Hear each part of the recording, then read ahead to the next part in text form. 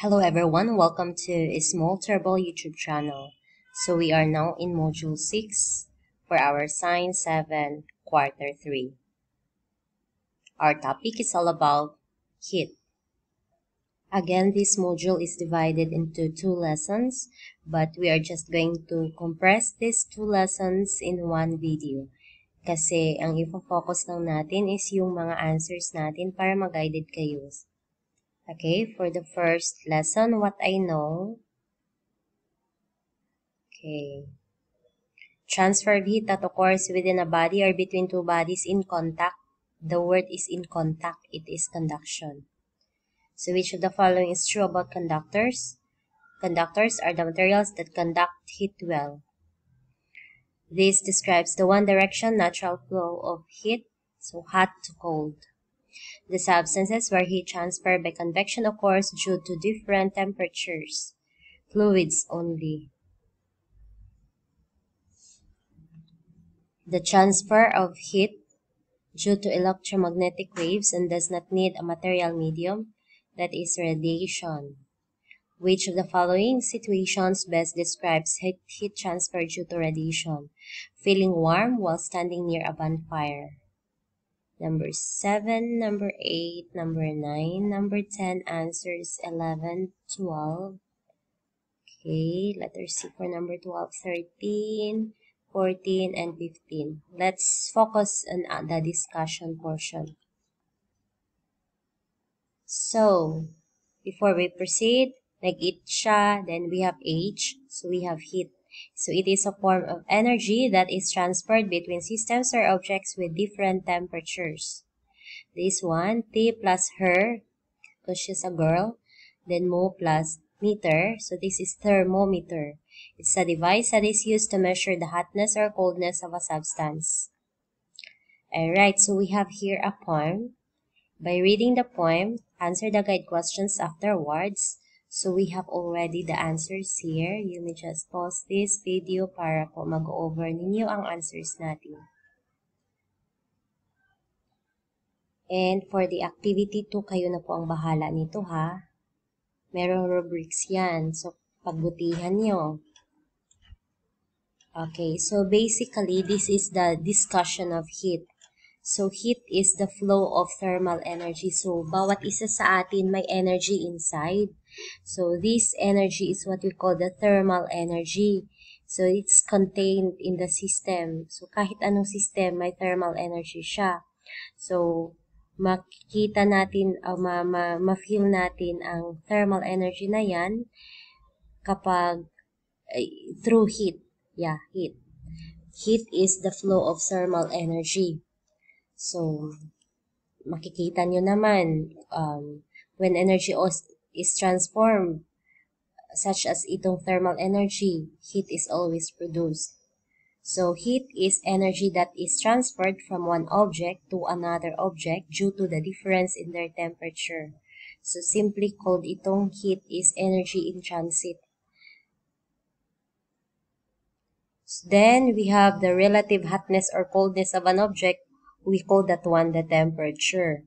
So kapag 37 degrees Celsius ang inyong temperatura or ang inyong hotness, that is temperature. Then we have, we are going to measure that temperature using the thermometer. And we have here the methods of heat transfer. Don't you know that whenever you boil a water, you are having the three methods of heat transfer. When you hold the pan, it's uh, you can feel the heat. Transfer of that heat is through conduction kasi nag-contact ka, na you hold kasi the pan. And the water inside the pan, yung hotter portion is at the bottom, then colder portion is at, uh, I mean, warmer portion. Hotter portion is at the bottom, medyo hindi masyadong hot sa nasa taas. So, convection yan. And whenever you're cooking, you can feel the heat from the stove towards your body. So, that's radiation. So basically, when you say conduction, it involves contact with uh, the two objects or between objects. So the energy that the heat that transferred between the two objects is transferred through conduction. And we have the so-called conductors. They are the materials that conduct heat. And the insulators. They are the materials that cannot conduct heat. They are poor conductors. So examples are non-metals like wood, rubber, plastic, glass, paper, etc. Those metals like copper, iron, aluminum, steel, silver, brass, lead, and so on. They are the good conductors. Then for the convection, it's the process in which heat is carried from place to place by the bulk movement of a fluid against its surroundings. So, you say fluids, they are the materials that can flow. So, this includes gases and liquids. So, hindi pwedeng convection ay mangyayari lang siya sa gases or sa liquid lang. Fluid ang, ang make it fluid kasi it refers to the two naman, gases and liquids. So, for example, the movement of steam or the motion of boiling water in a pot are examples of convection. For radiation, this is a method of heat transfer in the absence of matter. So, there's no contact, no? There's no contact happening. So, for example, it's the sun hits the earth. So, do you have a tool from the sun to the earth that makes the earth warm or heat up. So it travels through these electromagnetic waves. So it carries energy from the fire, uh, from, from the sun to the earth. And yeah, in this topic about radiation, we have the um, color like uh, if you have the color black it will completely absorb um, the energy that's why it's very very hot when you wear it during summer season and when you wear naman yung mga light colored clothes white that you can feel cooler because it absorbs less heat from the sun's radiation. Unlike the dark clothes, it will absorb a large fraction of the sun's radiation. So, on the other hand, perfect absorber ang tawag natin sa color black. Ang color white or light colored clothes naman, they are good reflector of heat. So, they cannot, um, they, it will just bounce back yung heat. Hindi siya ma-absorb. Kaya nga cooler yung yung mafe-feel niyo during summer season while wearing light colored clothes. Alright, so for the what's more, activity 1 answers. I-flash ko lang dito. Pause ni lang. Activity 2 rin. Activity 3. Okay, between the two, itong boiling hot water is the example of con convection.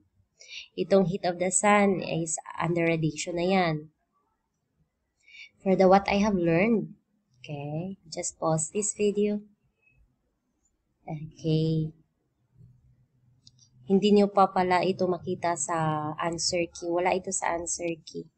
So, for this scenario, kayo na po ang gagawa ha para meron naman kayong activity. Hindi na lang lahat sa akin. Okay, between the two, during sunny days, you need to wear this white shirt. Do not wear black shirt or else talagang hindi kayo magiging komportable nitong black during summer or sunny days. Um, please do the explanation on yourself. You are given the rubrics. And for the assessment, heat travels through the pan by conduction. Yes, heat travels through the soap by radiation. Huh? Hindi. Heat travels through the soap by dapat ito convection. So, dapat po pala, i, ano no, i-double check talaga. Convection dapat yan.